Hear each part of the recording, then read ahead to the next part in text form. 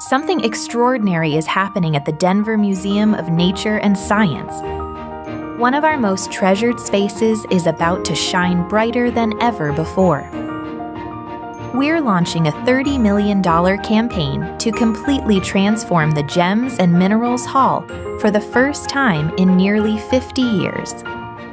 The new hall will expand to increase its footprint within the museum by 50% we are excited to unveil a new theme.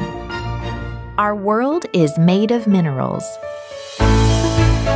From deep within the earth to the shelves of our retail stores, this reimagined experience will connect science, story, and sparkle, celebrating the incredible diversity of the minerals that shape our world and everyday lives. Thanks to a generous lead gift from Kathy and Peter Dea., the new hall will be named the Dea Family Gems and Minerals Hall.